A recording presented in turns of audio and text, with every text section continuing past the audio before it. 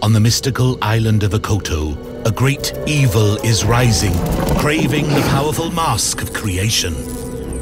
But six elemental heroes crash from the sky. Tahu, Gali, Pohatu, Kopaka, Onua, and Lewa. It is their destiny to find their masks of power, battle evil, and save the island.